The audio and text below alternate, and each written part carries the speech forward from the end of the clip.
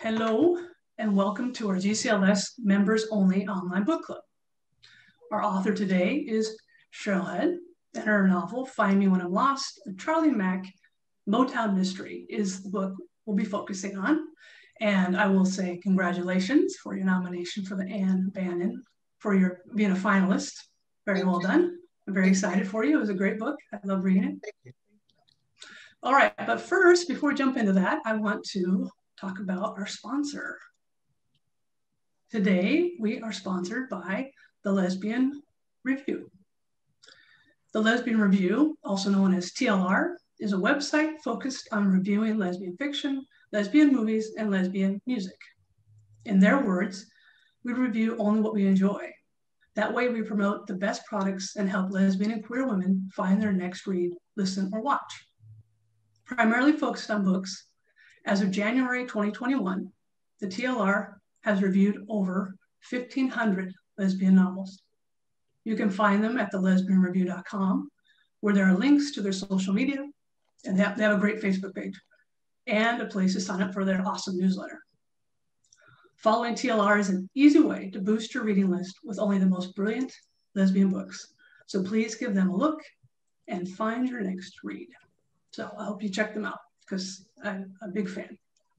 We're going to talk about these books. One of our goals for the GCLS Online Book Club is to promote, fabulous authors and their work, but also to continue to build our community.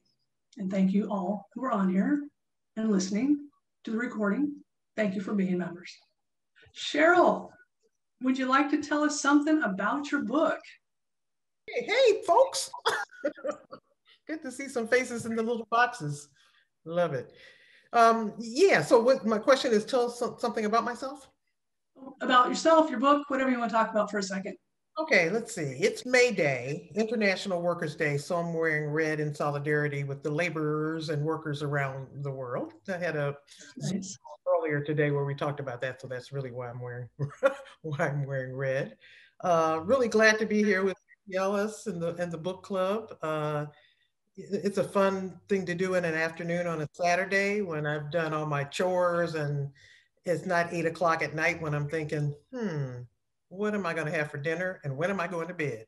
So, you know, I have some energy. uh, and uh, thanks for inviting me. Glad, happy to be here with GCLS. We are happy to have you. All right, now I get to actually read your bio. Ooh. Yes. Hmm. Cheryl spent 20 years in public television and radio before turning to fiction writing. Her first novel, Long Way Home, a World War II novel, is a story of the experiences of Black soldiers in America's segregated wartime army and was shortlisted by Next Generation Indie Book Awards in the African American fiction and historical fiction categories. She writes the award winning Charlie Mack Motown series, Mysteries, sorry, which is a series, but Mysteries where uh, has a female PI protagonist who is both queer and black. Her books are listed in the Detroit Public Library African American Book List. In 2019, Cheryl was named to the Hall of Fame of, of the Saints and Sinners Library Festival, and she is a current member of the National Bouchercon Board of Directors. It's Bouchercon. Dang, I went with the French. I, went, I yeah. should have asked you beforehand. But... Sais quoi. All right. Do you want to do a reading from your book? Yes, uh, I would like to. Uh, so this is a few minutes, about five minutes from Find Me When I'm Lost. Um, so this book, um, I'm not sure what how the idea came to me, but I wanted to do a book that involved Charlie's kind of previous life. So the, the concept of this book is, is that uh, Charlie gets a, a late night phone call private eyes love that when they get a late night phone call from someone she doesn't really know. It's the new wife of her ex-husband. Charlie, you, you will remember if you have read the series, is bisexual, but has since gotten to uh, an exclusive relationship with a woman named Mandy Porter. Um, but she gets this late night phone call from her ex's new wife, who she's never met. Um, the ex has been charged with the murder of the wife's brother, and both the ex and Charlie are convinced that Franklin has not committed this crime because they know him. Um, the excerpt I'm going to read you is um, from some of my favorite parts when I'm writing, and that is writing about witness and uh, interviews and um, um, source inter source interviews. I love kind of these characters that you only see once, uh, and Charlie and Don interviewing them. I have a lot of fun with them. It allows me to uh, use the little tidbits of things I've observed over the years to give people quirky characteristics and stuff like that. And so I have a lot of fun uh, writing those. They're not important to the book necessarily, but fun for me to to, to write. And in this particular one, um, it starts off with a little bit of a domestic scene with Charlie and Mandy, and then goes into this interview of one of their um, their case sources. Charlie and Mandy lounged on the couch. The newspapers were scattered on the table and the floor. Ham snoozed on the carpet, and the Sunday news shows added background to their easy morning. You want another cuppa? Charlie asked, sliding socked feet into her slippers and reaching out for Mandy's cup. Ham lifted his head. Ham is their dog, by the way. Don't mind if I do. How about another piece of toast? No, but Ham wants some. Ham wants any food being prepared in the house. Don't you, boy? Charlie asked. I think he's ready for his walk, too. Mandy followed them into the kitchen. She rubbed Ham under the chin. He's been out once this morning. He's okay. I'll welcome when you leave. I'm sorry you have to work today and last night. And don't forget the night before, Mandy said. Charlie put an, an arm around Mandy's shoulder and buried her face in Mandy's lush hair. I think your hair is my favorite part of you. It's not my brain? Oh, yes, it's your brain. Your hair is second to your brain. Oh, and your breasts, especially the left one. Ham always wanted to be part of the kissing action, and he stood on hind legs to lean on Mandy's. The three of them were held in a love knot for a few seconds. Have you spoken to Franklin again? Nope. I guess I can call his father if I need to speak with him. Do you have any evidence of Fairchild's involvement in the murder? No, nothing we can prove. Well, who are you meeting today? The manager of a woman Peter was dating. She's a pole dancer and a law student. Well, good for her, Mandy said after a pause to reflect on that idea. Does the manager have something to do with Peter's murder? I doubt it, but this guy had a couple of run ins with Peter, which turned physical. Don and I want to ask him about it. Well, I really hope the father didn't do it. That would be horrible. What's that called anyway when a parent kills a child? It's not fratricide, that's killing your brother, right? Right, it's called filicide, the deliberate act of a parent killing his son or daughter. Judy looked it up the other day. Nasty word. Yes. And if it's true, even nastier business.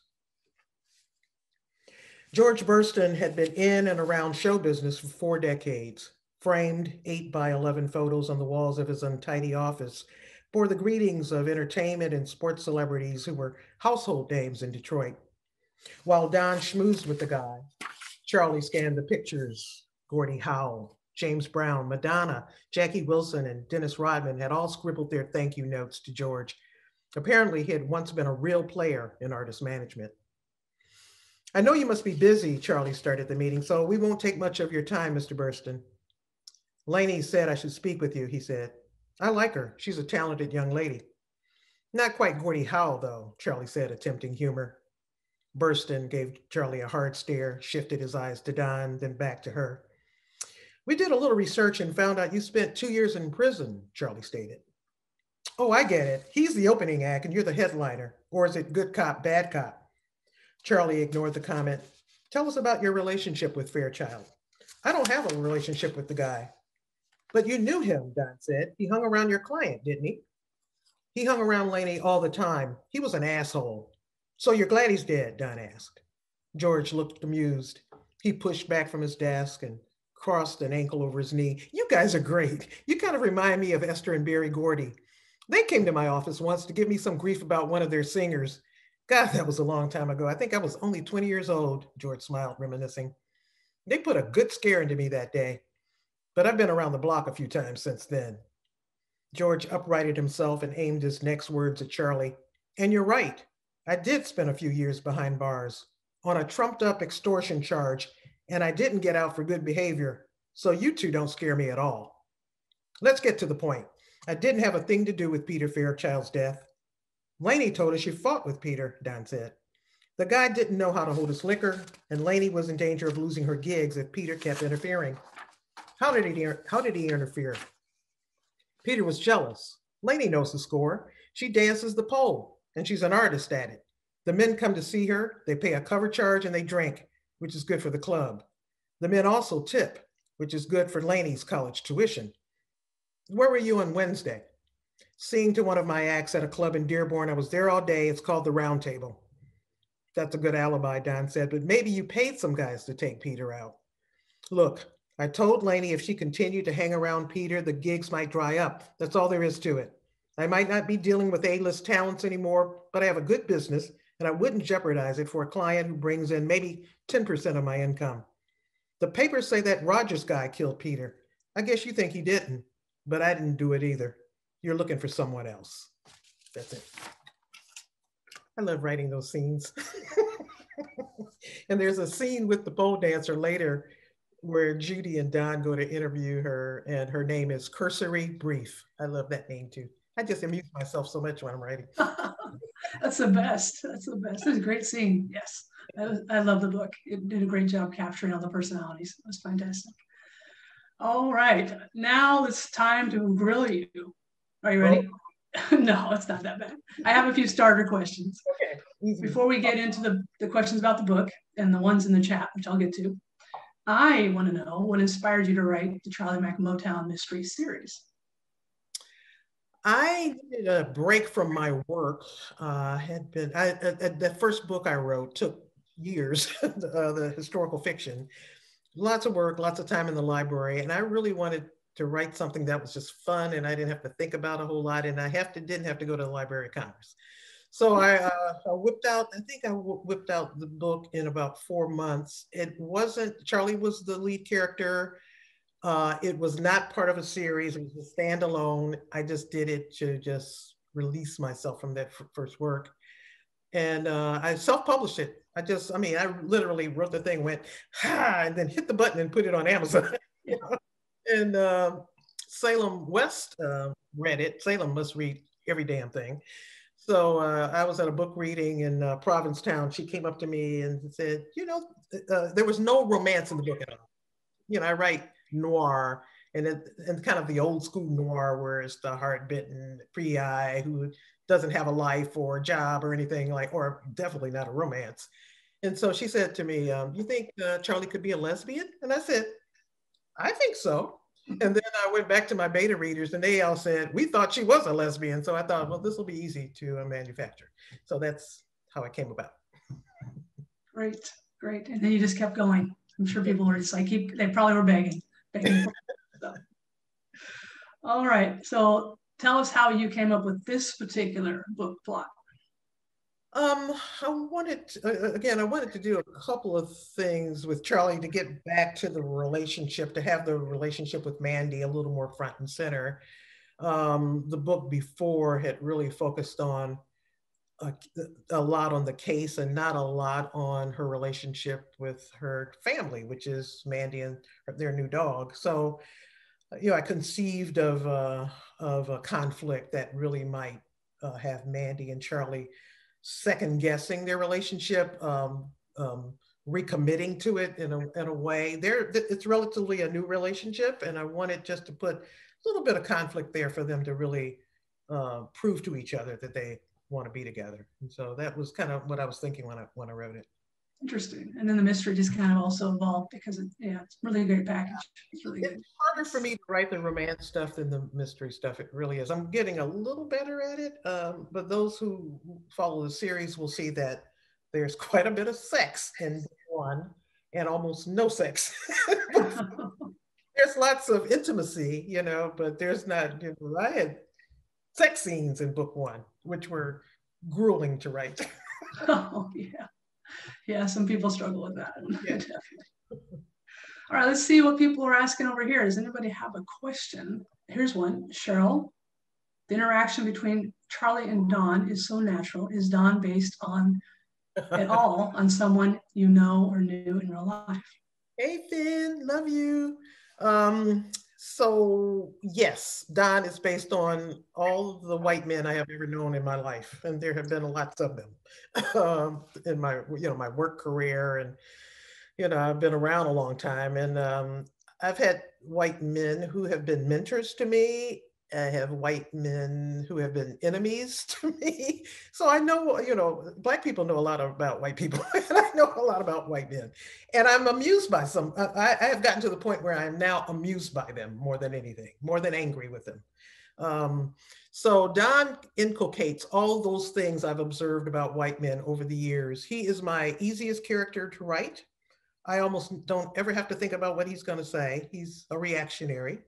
Um, he's not a bad guy. He's just a, a guy with privilege who goes around living his life and but he but he's he's also a guy who is expansive enough to be able to change. And and throughout the series through the series you will see some changes in don. I think he's in lots of ways a perfect foil for charlie. Um, he allows me to say all the crazy stuff i want to say that i wouldn't put in charlie's mouth or anybody else's for that matter um, and so I have really a fondness for him. I, I, again, he just, I laugh out loud when I'm writing him. I'm writing and laughing, ha ha ha ha, ha. that kind of thing.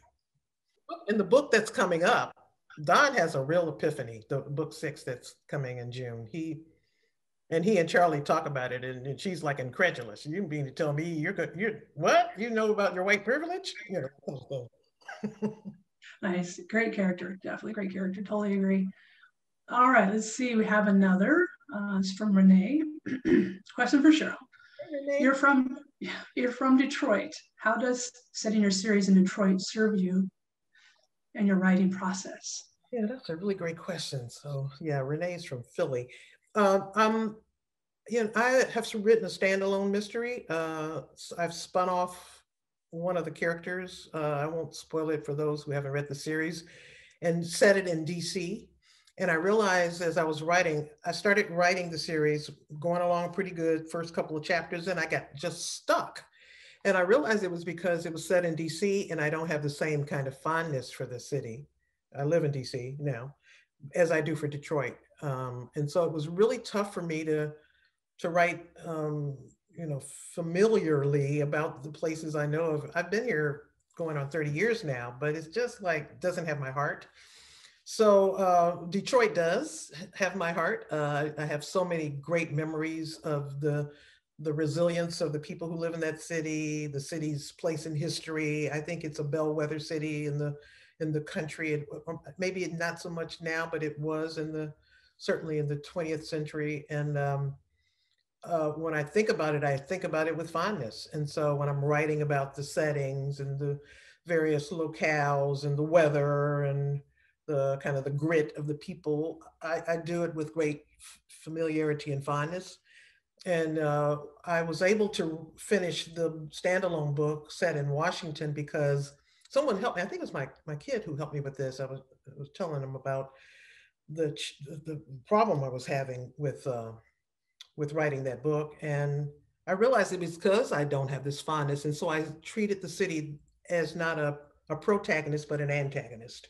And as soon as I did that, it was easy to get it out. Very cool. Thanks for that question, Renee. That was a great question. They're all great questions. Okay, Elizabeth has one for you. Oh. This is one yeah, mm. this is a good one too. Yeah. How has COVID affected your writing? Yeah, I, this one causes me a little bit of uh, angst in, in responding to it because I know COVID has been such a horrible thing for so many people and has been deathly for so many families have been really desperately and horribly affected by it. Uh, for me, it turned out to be a, a, you know a place where I could really flourish as a writer. I'm I'm a big time introvert. I didn't want to go out the house anyway. I'm wearing a mask felt good to me. I'm going like, oh, I can wear a mask all the time. People don't have to see my face, and I don't have to see them. You know. Um, uh, so it, I was able to really use that space after the first couple of months of thinking I was going to die, like everybody else did. I was able to use that space to really uh, observe things differently and write about what I was observing. So I, I literally wrote two and a half novels in 2020. Um, so COVID has been, you know, as that guy used to say on laughing, Betty, Betty, good to me. Yeah, I've kind of seen that. Yeah. By the way, we will not get my references, but my friends who are older will always understand. Thank you. All right, I'm going to jump back to some of the questions people had submitted um, beforehand. I want to get the How you... see people. Oh yeah, there you are. Hey, Finn. Hey, yeah, our Hollywood Squares here. yeah. Oh, let's see. Where was it? How do you choose your? How did how did you choose your point of view in the book and the series? Mm. That was again because of the hard work of the first book, which I wrote in first person and vowed never to do again. So I automatically went to third person for the series. I have subsequently, I'm writing a, a book now, I've just finished another novel that's um, kind of a personal novel about Black Lives Matter and that kind of thing. Uh, and it's in first person. I, I, I, can do it better now, but I understand the limitations of it now. When I was writing the first book, I had no idea. You know, I would I would give it off to an editor who was a volunteer, and she would say, "This is really good, but how does how does how do they know that happened? How does this character know that happened?" I'm going like, "What are you talking about?" You know, so you know, I've um, learned how to work with first person. Uh, I think I will write more in first person. Uh, mysteries often often do better in first person because you can really get in the head of your PI, you know. Um, but I also like, and you'll see in the book, sometimes I switch to first person uh, around the villain because I like to get in the heads of the villain. So, and I've been accused of be, being doing badly by shifting point of view within a, a, a chapter, which I have done. Uh, I think I've even shifted it in a, in a paragraph. I try to do it in a way that the reader can follow and I'm not promising I won't ever do it again. That's actually an amazing skill set to be able to pull off. Pull off yeah, different point of views. Not based on skill. well, you do it well, regardless. Okay, Anne has a question. You're so busy with Lambda, and oh, she used that other one. Bush Khan. She did that just she did that to trip me up. Anthony Dr and you've given so much time to GCLS. I don't know how you fit it all, how you fit it all in to begin with, but I'd like to know, are you planning on writing, publishing anything that's not a mystery in the near future? I don't know if I'll write something that's not a mystery. The the two that I have in the in the in the on the shelf now uh, are, are mysteries. The the third the one I'm just finishing is a personal story. My uh, great grandfather was killed by police in Birmingham, Alabama in 1929 so during COVID in February, when George Floyd happened, like all, all, all of us, or many of us, we were appalled. But I was so angry and desperate that I thought this is the time to write this story about my great grandfather. And so I, you know, I've written that story, and um, um, you know, I think it's I think it's a really good story. I feel really happy about it. I'm, juxtapos- I'm juxtaposing 1929 when he was dead in 2019 uh, with a protagonist who's a reporter who wants to uh, do a human interest story on Black Lives Matter, and the, the two stories converge. Um, uh, so it's, but uh, you know, as I was writing it, I wasn't thinking of it as a mystery, but it it turns out it is because at the end she kind of solves what's happened. Um, and, so I don't know if I know how to write. I know I don't know how to write romance. I just don't. I admire it. I know I don't know how to write um, fantasy. I admire it and it sells. I just don't know how to do it, you know? Uh, I, I do write some short stories that are more family dramas there and not mysteries. So I think I'll be, I think I will shift. I think I will um, not be shifting and I will stick to mysteries. Anne Hagan, who writes mysteries herself, a fine mystery writer.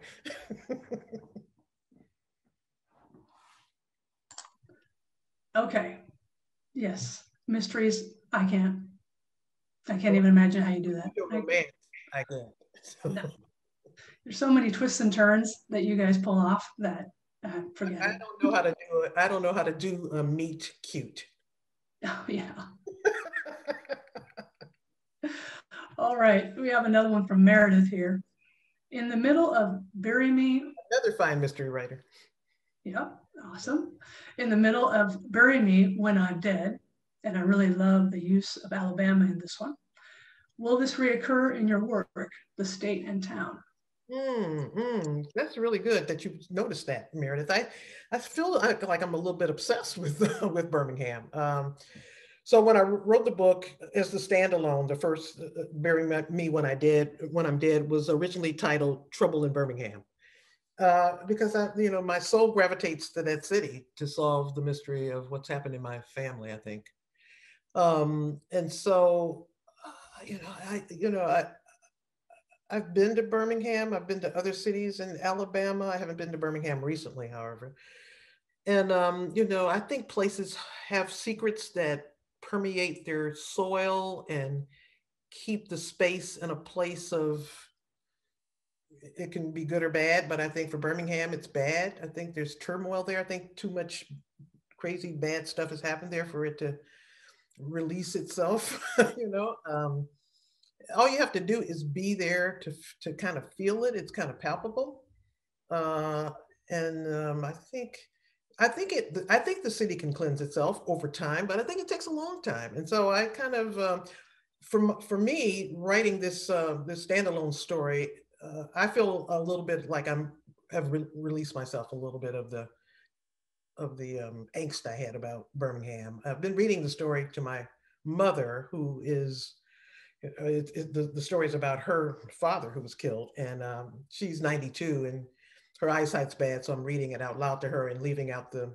profanity because she'd be going like, "Ooh," so I've been uh, doing that. But um, she's a, I can tell she likes. I just started doing it. I've just read her the first two chapters, and um, uh, our our thing is that we will get together and I will read her these chapters. And um, I was, she said, I, I wrote about her. I was a little little hesitant about reading her this one chapter that had her voice in it, the stuff she says to me all the time on the phone. So I read it and she says, I say that all the time. I said, Yeah, I know, mom. That's why it's in the book. so, I, you know, it's been a really good purge for me to do this book. It, and uh, maybe I'll leave Birmingham alone after this. One of my beta readers who's reading it now, still in its early stages, uh, but it's finished, is a woman, a white woman from Birmingham, my neighbor who lives a couple few doors down. And um, I asked her to read it and uh, just give me her sense of I don't want to trash the city, but I want to I want to find out from her does she feel like Birmingham comes out unscathed or uh, in a way that you know people won't just dismiss it who, who live in the city. I love that you're reading it out loud to your mother. That's that's awesome. yeah. I'm sure it's fun for both of you, definitely. At one point, she said I was reading. She goes like, "No, it didn't happen that way." Whoops. Fiction now. Nothing like feedback in the moment. There you go. All right. Um, I think we're caught up over there. So let's take a look at another one. Um, Mercedes. Hey, Mercedes. Where is she? Is there one from her? I see her box. No, I just look at her. Oh, I'm, I'm, I'm here, but I'm I'm covered over. you know. nice. All right. How much research did you need to do to write the book? And how much do you enjoy the researching process?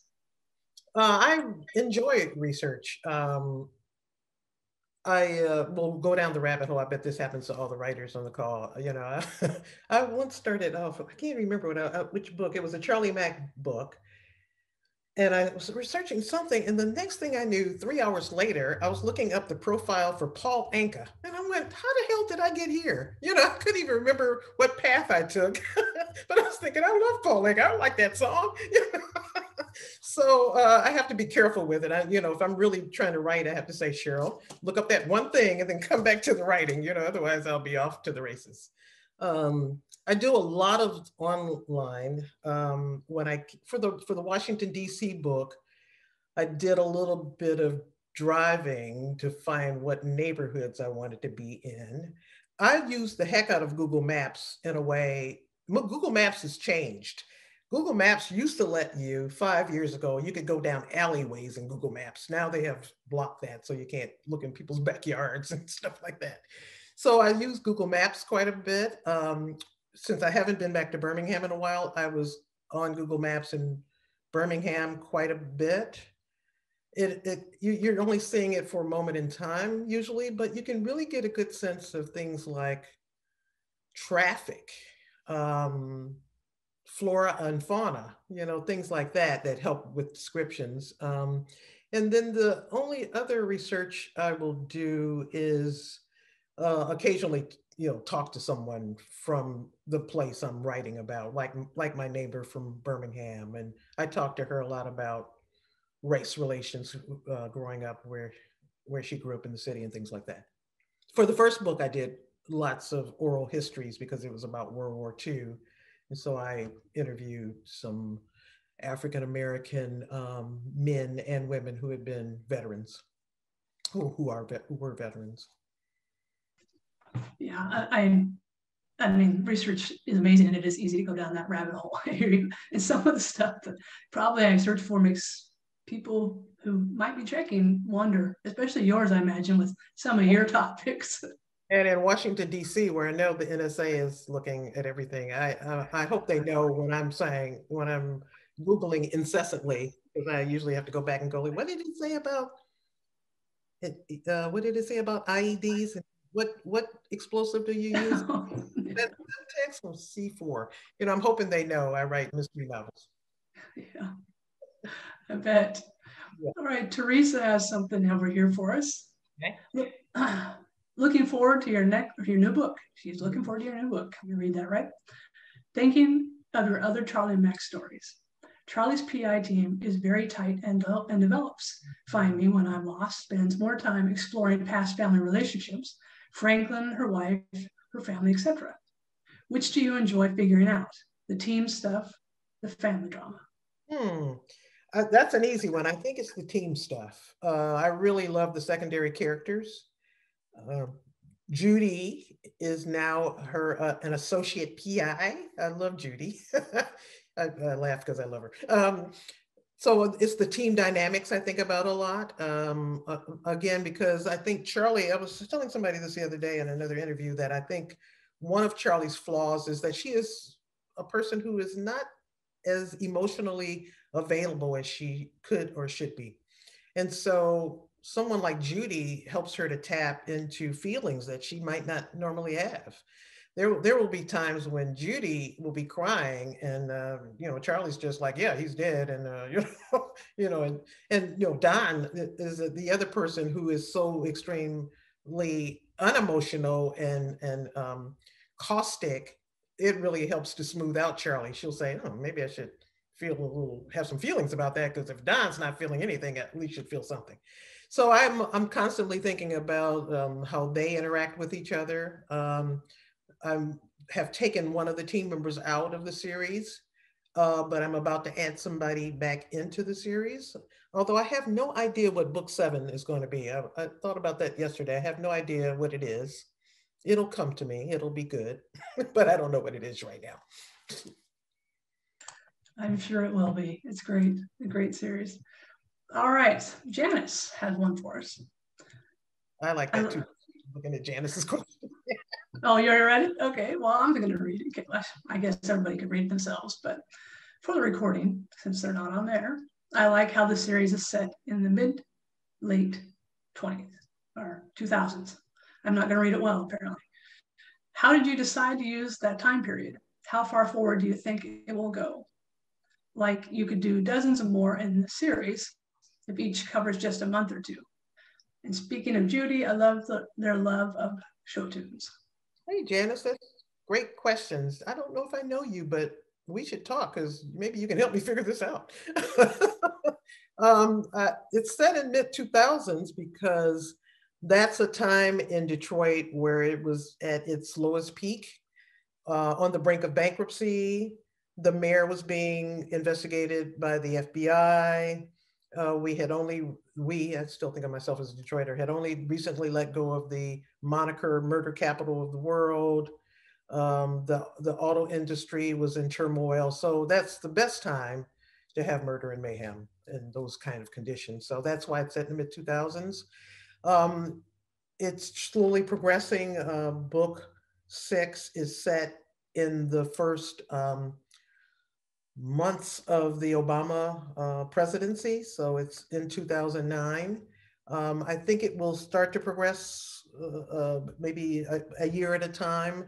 One of the things that held me back so far is my fabulous editor, one of my editors on this call, Elizabeth Anderson, and my uh, developmental editor, Faye, um, Faye uh, said to me, if what's happening with Charlie's mom's Alzheimer's, you know, if if you progress fast, she has to deteriorate. And um, her mom is a favorite character of mine. So I don't know if I want to see Ernestine deteriorate. So like Janice suggests, maybe, you know, next book will be next month, you know, and I'll go month to month. That way, that way Ernestine can stay vital, which she is right now.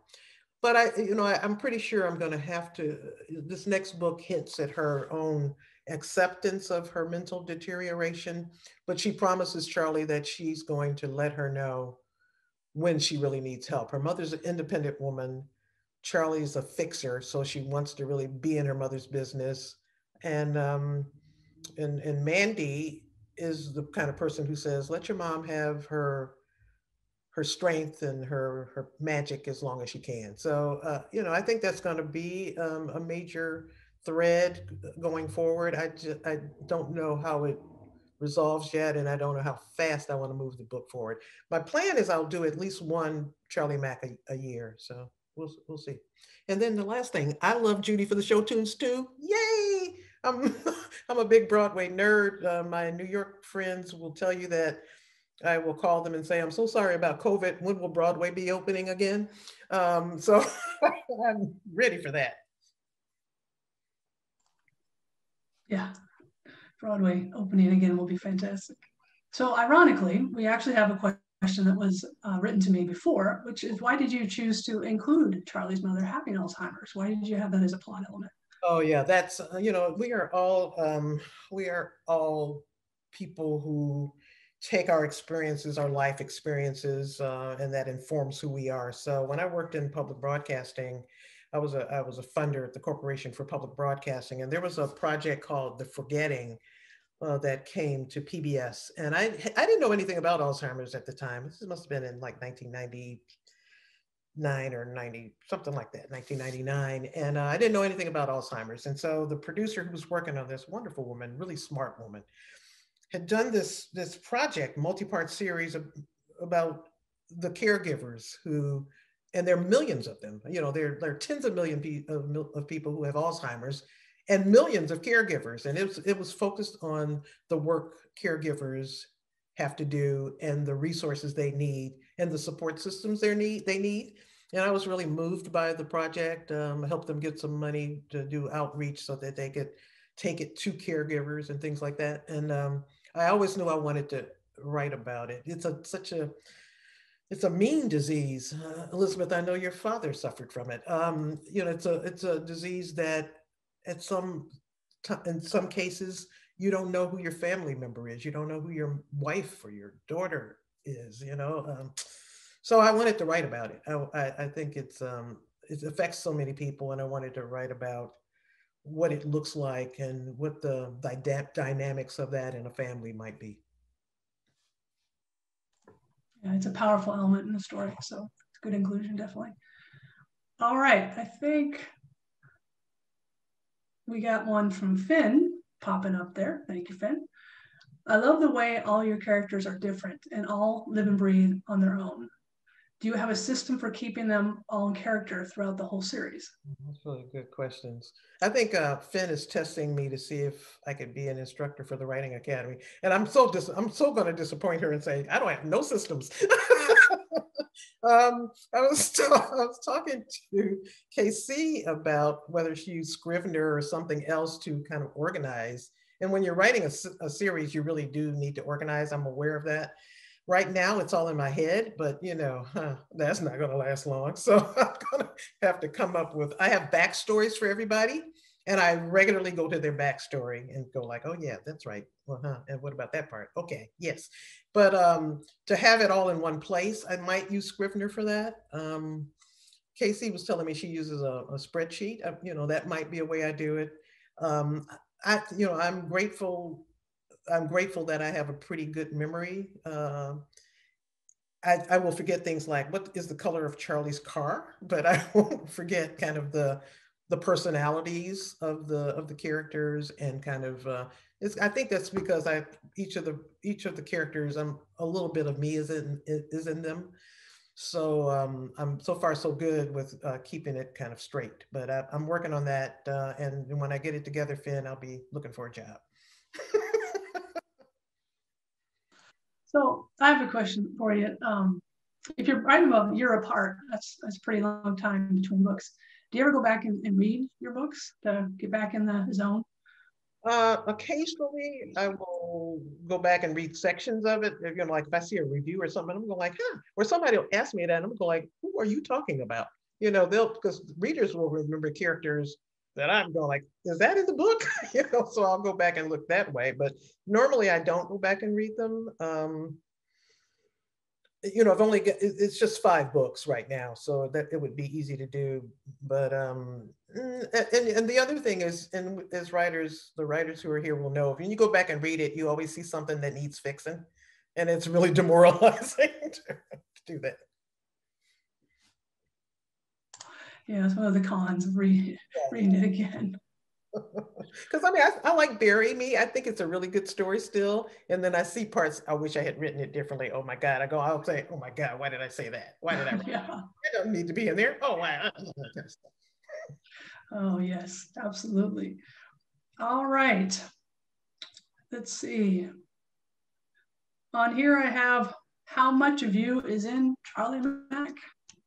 Yeah, um, oh, I, I tease people by saying Charlie is a younger, smarter, braver version of me. But yeah, I'm I'm in her, that's for sure. My um maiden name, Head is my married name. I was married once upon a time. My maiden name is McGarra, McGarra, Scottish. Um, so that's where the Mac came from. And, you know, Charlie is a variation of Charles and Cheryl is a variation of Charles when you go and look at name um, backgrounds. And so that's where the name came from. It's a cool name, Charlie Mack, PI. I mean, how can you not? It sounds like Jimmy Mack from Motown, Jimmy. Jimmy. All right, let's see how we're doing on time. All right, got we got some time more, definitely. Okay, personally, I'm not a fan of this question, but they did ask it, so uh, get ready. Thank you, Lynn. I'm looking at Lynn's comment. That thank you, Lynn. Appreciate that. if you were gonna have one of these made into a movie, oh, who would play Charlie Mack? I got the movie cast for Bury Me. I've got the movie I, on the first one. I did the whole movie. I have wow. folder called the movie. who I want to do the reading, uh, the, the, the music, who I want to direct, who I want to be the actors. Um, it, I will say this uh, a year ago, because it takes a long time for these things to happen. A, a producer uh, who works in the LGBTQ landscape um, got in touch with me on Twitter and asked if I would if I had ever considered it being a movie. And so she and I have talked. And um, I have what is called a shopping agreement for Charlie Mack TV or movie series. Um, so, but the, but you know, sh- uh, it's been a year and she didn't find a deal. She found a couple of nibbles, and then people after George Floyd, people backed away because they, the people in Hollywood are really rethinking how they want to make um, detective and crime novels because they don't want to be too kind to police. I mean, this is all the stuff I'm learning from people who are making movies. Uh, but recently, last month or last month, I re-upped the shopping deal. So the producer is out actively looking for a movie deal for the Charlie Mack series. So that if it happens, I'll be grateful. Yep. We would all love that. That would be fun. That's great that you have that out there. and It's it's happening. That's that's. I'm really happy for you. I hope that happens. That's awesome. All right. Um, yep. People also agree in the chat what else do I have for you? Let's switch to your next novel. Oh, okay. What's coming up with the next one? I'm, I'm sorry, I was laughing at Elizabeth. burger joints. There's a lot of eating in the books. I know. I can't help myself. Um, so the next book, oh, this is COVID COVID partly, um, and an incident in Michigan last year drove me to write the last book. So warn me when it's time. Book six drops June 29th. Get it wherever fine books are sold. Um, is about the nascent beginnings of the alt-right um, hate groups in Michigan. Um, Charlie is hired by, there's been a series of hate crimes in Michigan in 2009 of the first Obama administration. And one of the um, hate crimes uh, was a fire started by an explosion which killed uh, a teacher in a mosque. And the family of the murdered man who doesn't trust the Dearborn police to handle the case well hires Charlie and her team to find uh, the murderer of their husband father. And so she and the team take off on, on the trek of identifying the murderers, and it leads them, them to this um, loose and loose, eh, both loose and sophisticated groups who are already at work in Michigan in 2009 to kind of perpetuate race violence. And it's um, it was started because I thought, who are the people who would have the gall, the nerve, and the idiocy to think they could kidnap the governor of Michigan? Who are these people? And so it's a story about who those people are and how they came to be in 2020. Um, when look, but looking at them through the prism of 2009 and their early beginnings. Um, it, t- it, turns out um, uh, in, in 2009, there's this very available um, FBI report about the growing number of hate, hate groups, many of them perpetuated by the Obama candidacy. And it outlines the number of uh, assassination attempts against it that were thwarted. I mean, so many that, that we don't know about that were thwarted even before the man got in office, you know. So it looks at that and um, it looks at it in kind of a personal way. And um, uh, one of the main characters is this young guy, this disenfranchised, disenchanted, distressed, diseased, uh, disturbed young man who it, would become one of these guys in 2020. Um, so that's what it's about. Sounds intense. And we're all looking forward to it, definitely. Yeah. So that question from Elizabeth that you were laughing about definitely needs to be in here. So Don's fixation on food is a fun element. Mandy and Charlie seem to be less about burger joints and more about culinary delights. Which are you? okay, well, uh, my partner is on this call, Teresa, and uh, she will tell you that on any given night, I want some kind of food from some kind of place, and I'm not really picky about it. You know, um, I I love a good burger. Um, uh, yeah, sure, I will eat a fine dinner in a fine restaurant, especially if I don't have to go. if it can be delivered to me, it's even better. You know, um, so yes, I'm I'm I'm a foodie I, am a good cook too, though. I uh, like to cook. Have I cooked for you, Elizabeth? I don't know. Yeah, I have. Okay. I, I, like to cook and I like to eat. And in Detroit, we have some good food. And because Detroit was an ethnic city, you could find really, really good ethnic food, like you can in Philly and other cities. Um, so yeah, I don't care how bad the crisis is going to get. You know, I don't care if terrorists are planning bombs. Let's stop and have some Chinese food. You know. and and they do. and Don is right there, you know, Don the way to his stomach. I worked in TV for a long time, and I did learn that when working with my technicians, you know, like I was on, I was a TV reporter, and working with my cameramen, if you give them donuts, they will do anything for you. so yeah.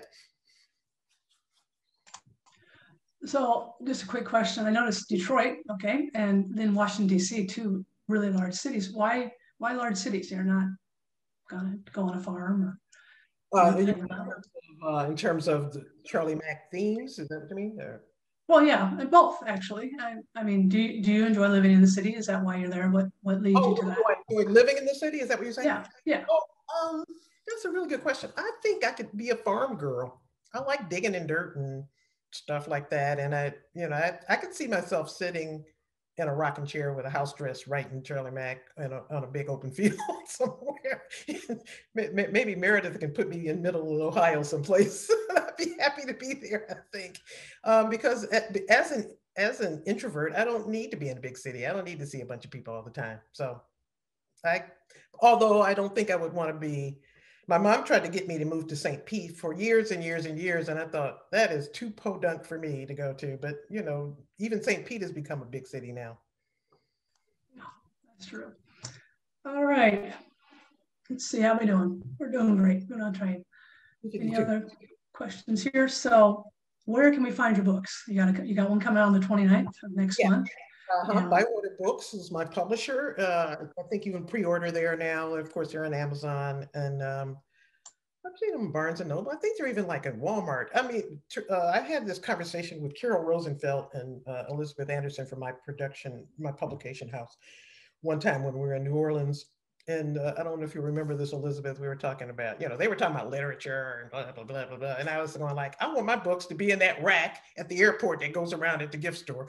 That's when I know I'll be a success. Forget about literature. I want my book on that rack next to James Patterson's rolling around. So.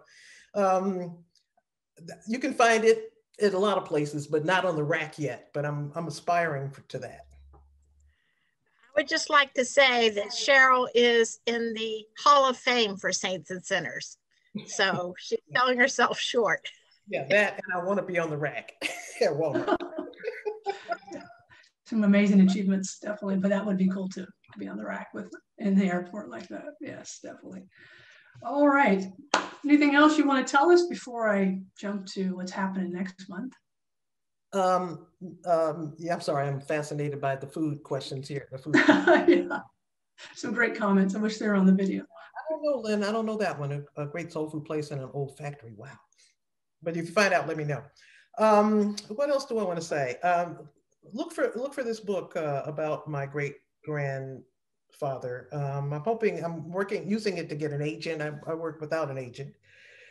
Um, but I think for this one, I'm going to need a bigger footprint. There's not really LGBTQ theme in this one. Um, but I think it, you know, I feel really good about the book. Um, I think it has a, a, pretty powerful message about systemic racism and um, the long-standing practice of um, police violence against Black bodies. Um, mm-hmm. And so um, I think it has both a hopeful message, but a really sobering message about how we should not uh, take these things for granted and we should understand that they're steeped in uh, um, a, a long history of systemic and internalized racism. Powerful, definitely. This was okay. fun yeah, this was fun. Is there anything else anyone wants to ask? At two o'clock on Saturday rather than 8 p.m. I mean, yeah. that's, that's just way too late for me. Actually, one popped in there from Lynn. And I teach at Prince George's Community College, or CC Community College, I guess, in Maryland. Would you think about talking to our students about writing? Love to, Lynn. I didn't realize you were local. I didn't know that. I'm sorry. I'll, I'll unmute myself and show my happy face. Uh, I've been writing, I've been writing. Yeah, I've been here for five years. Uh, I moved from Tampa, Florida. Up oh, to, uh-huh. And uh, since we're, you know, we're a predominantly African American institution, majority minority, and yeah. I think our students that we have some really great writing students. In fact, we just put out a literary magazine called Reflections. If I can find it, I'll post it out on uh, Facebook for you. Okay, that would be excellent. Prince George's County is such an interesting county too. It I don't know if it still has this record, but it had the largest black middle class in America in Prince George's County. It may still have it. Yeah, I think I think it still does. I mean, I really have such a wide variety of students. It's it's so much fun to teach these guys. Excellent. So I, I teach history and how to be a freshman. So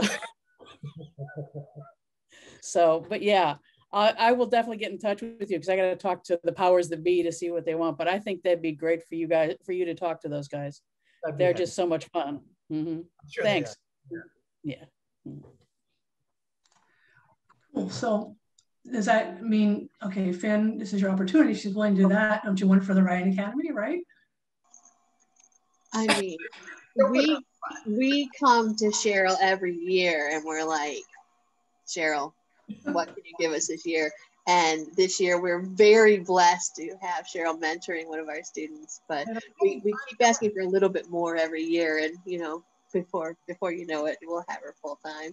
Having fun doing it. I've been reading the manuscript of, of this Writing Academy student and it's good. I read a little bit out loud the other day to Teresa. It's fun stuff. She's good. Look out for her. excellent, excellent. Mentoring is fun. Okay, I think I'm going to jump to the covers of the books coming up, or and the I, one that's out and one coming up. Yeah. You know, I think that's not the cover. It might be the old cover, but I, I don't know. There are two different covers to this, but it might turn out to be good. Maybe I'll so. well, you sent it to me, so I know, I know. But Ann McMahon did two covers, and I don't remember if that's the right one or not. So I think. but if you go on Amazon, that's not the cover. So just so you know. Okay, that's fun. All right. So next month, also Saturday in the afternoon. Um, I don't know why the time's not on here, but it's on June 5th, uh, 2021, again, 2 p.m. Eastern and 11 o'clock Pacific. And we're going to be talking about an author named Melissa Tereze. She's very popular, very popular indie author, if you read any of the indies, and often on the top 100 for lesbian fiction. And she's going to be talking about Mrs. Middleton.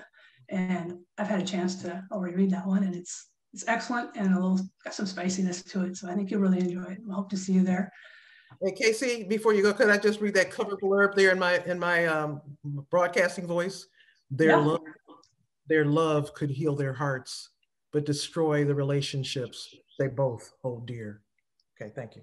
Perfect. Bravo. That was excellent. That's excellent. We always hope that you join our Facebook page if you're not already on there.